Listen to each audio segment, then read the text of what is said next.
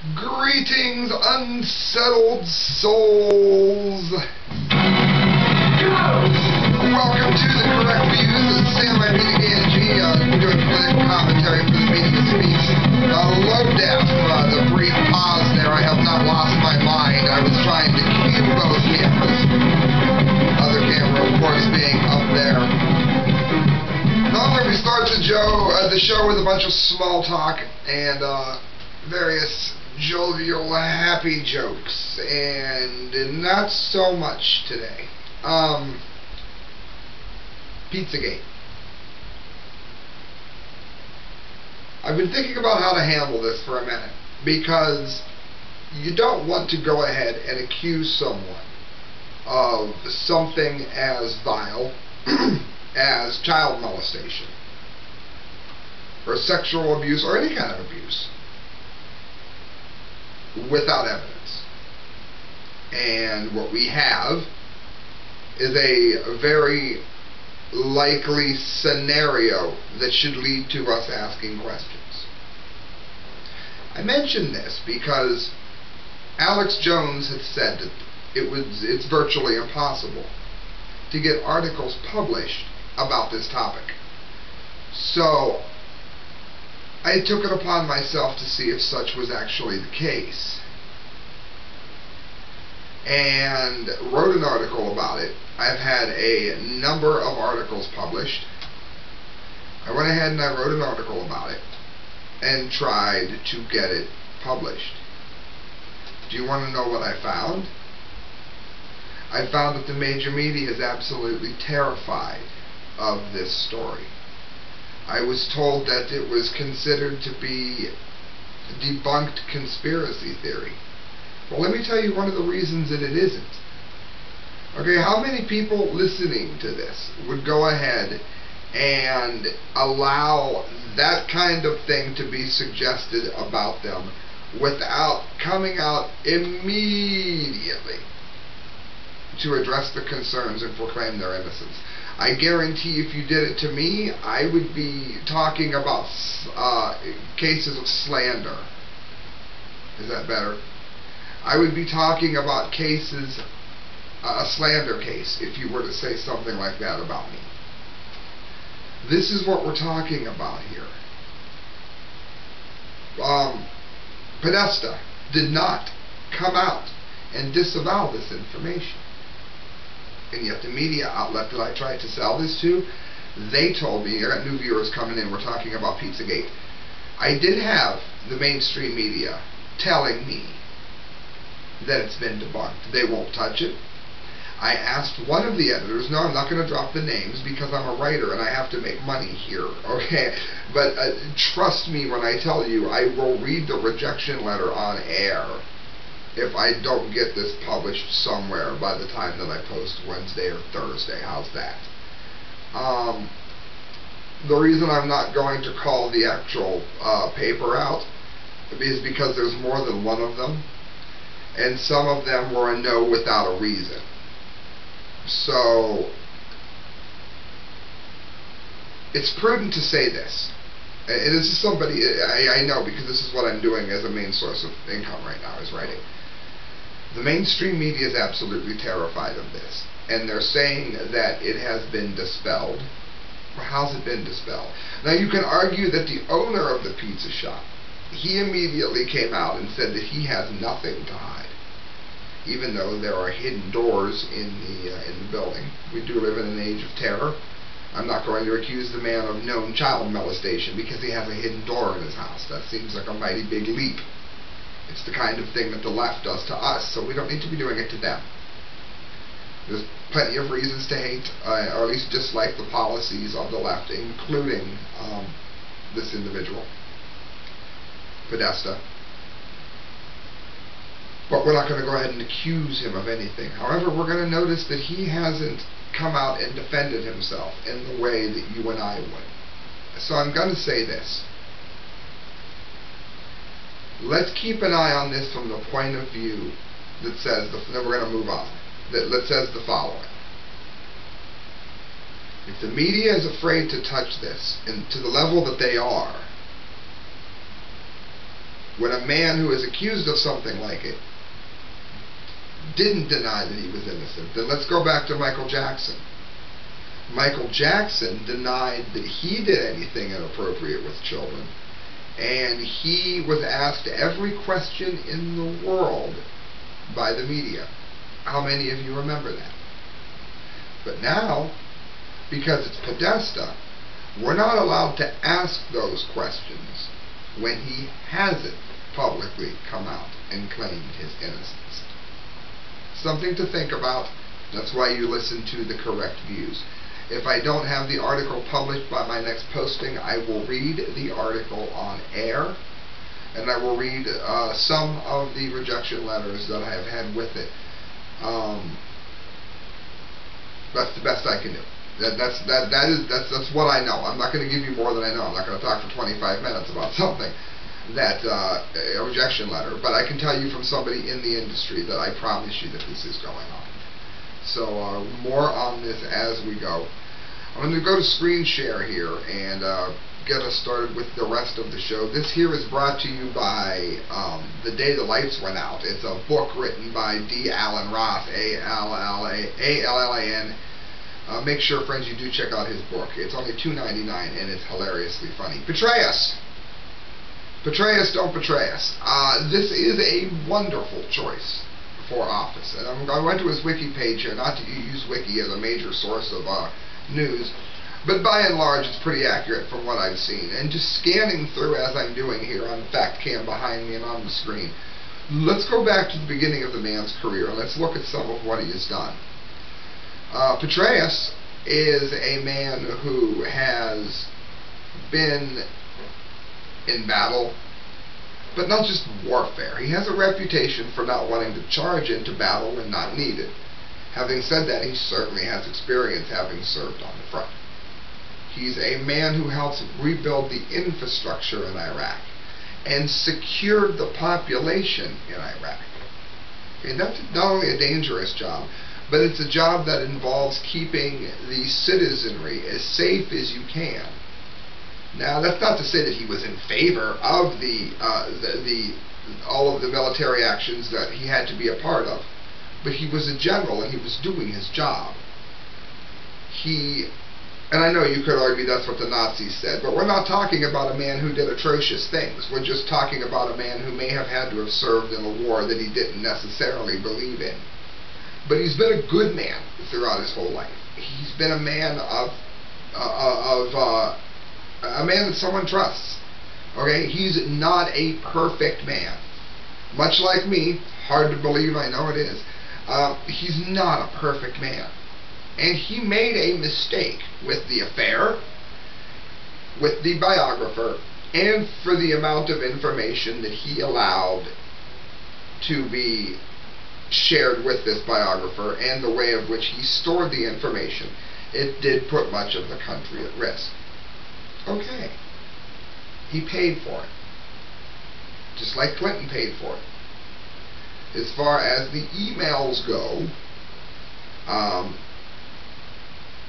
she paid for it. She, I mean, I mean, I'm not saying she's an innocent person now. Let's all go hug Hillary, but I'm saying she paid for it, definitely. Um, he paid the price. He lost his career. But should he lose everything that everything else he can do in his whole life because he had an affair?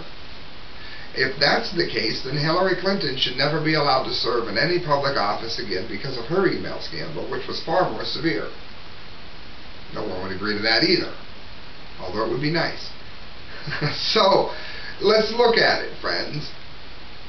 He's certainly a better choice than Rudy Giuliani a lot of Rudy Giuliani, a lot of blah, blah, blah, blah, a lot of Rudy Giuliani's idea are going to lead us into battle and have provoked instances where a, maybe a bit of overreaction was used in the Middle East. And a lot of that has been things that Rudy's kind of been in favor of.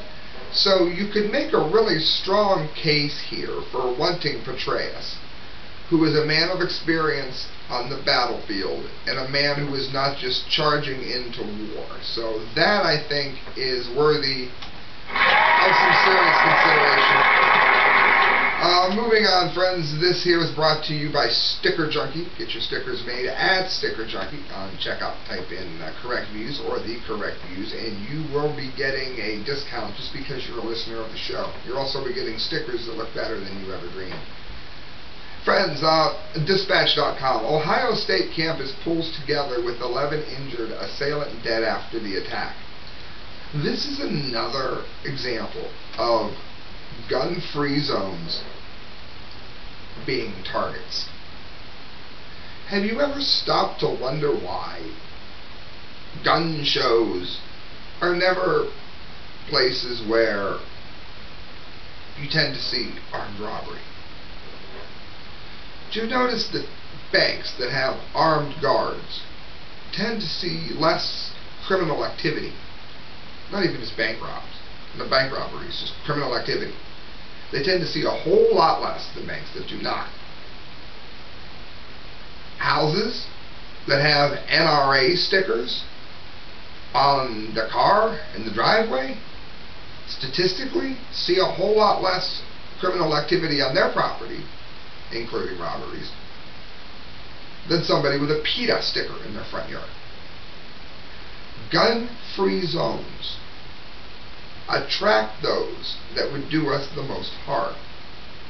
And if you believe that those kinds of people are going to go ahead and suddenly turn those guns in because it's illegal, then ask yourself how that worked for cocaine.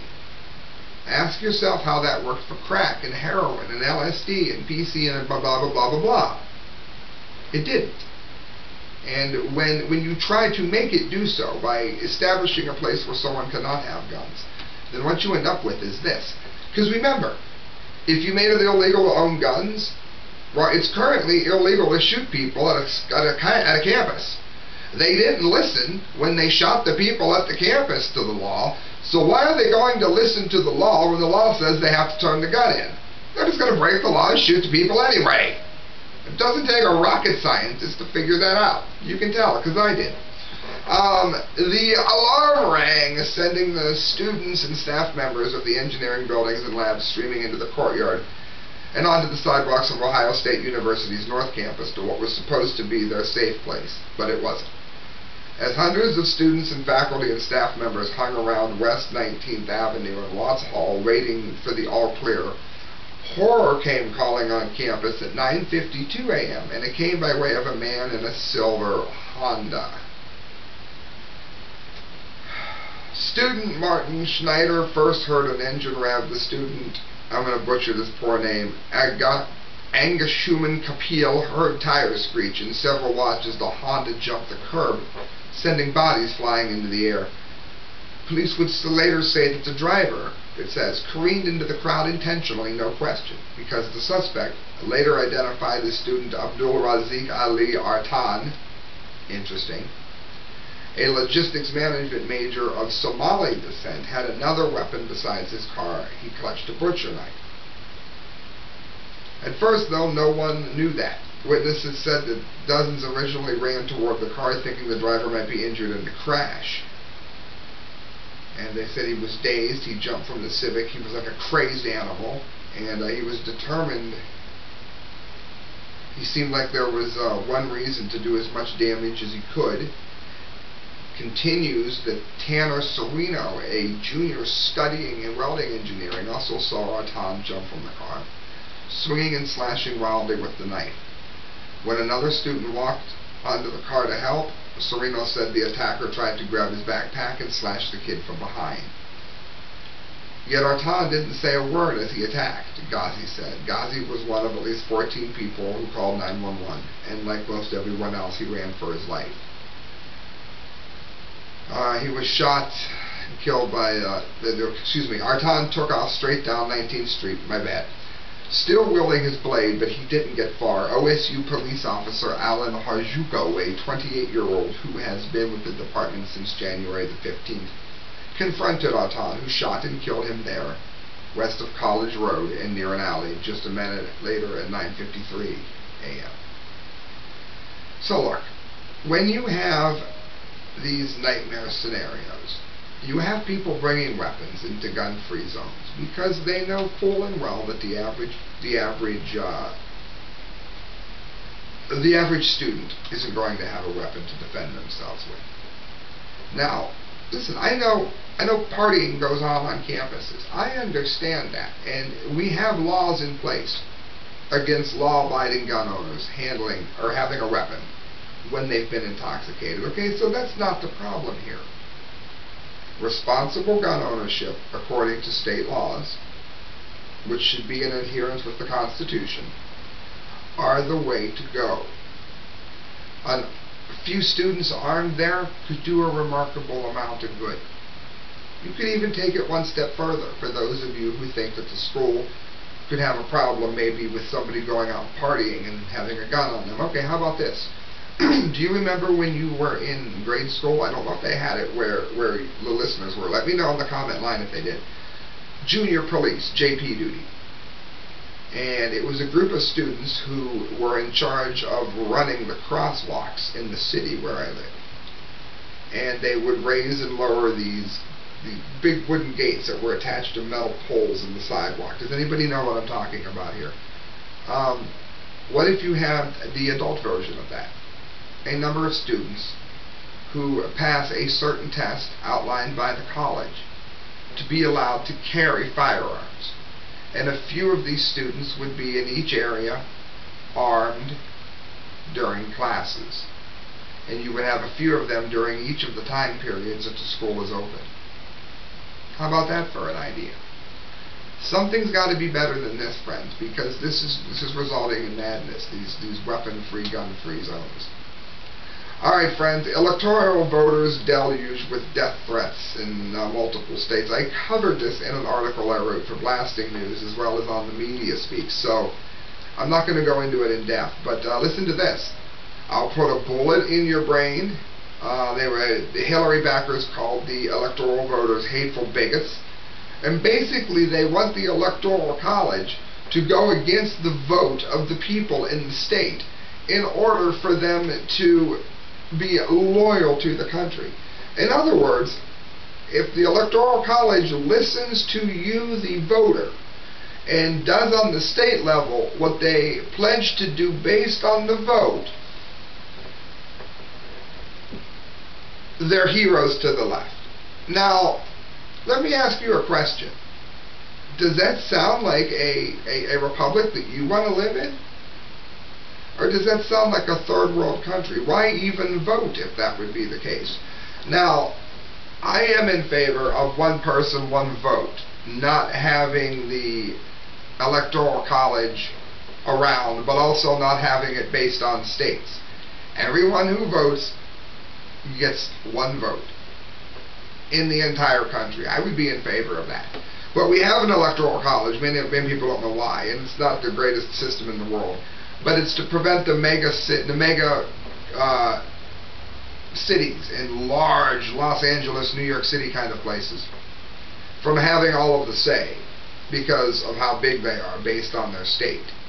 Well, if you eliminated the state requirement, then you wouldn't need the electoral college anymore, and that would also prevent this. But anyway, uh, they are existing to equal out the balance of the vote of the country by giving a certain number of votes to each state. The Electoral College members are in favor of representing the actual votes of the people in the state. That's why your vote does matter. Until people like Jill Stein come around, and then, uh, well, who knows. one of um, one of the 16 uh, I love pop-ups. I absolutely thank you so much. So I'm so happy to say thank you. WND, you suck. One of Michigan's 16 electors will be called upon to cast a vote validating the election of Donald Trump in the Electoral College. He had testified on video that he and others in the state are receiving dozens and dozens of death threats from Hillary Clinton supporters urging them to switch their vote to Clinton. Isn't that interesting? Hey, look, look at the number of red here. I saw a meme that said, uh, can you hear me now, making fun of the Verizon commercial.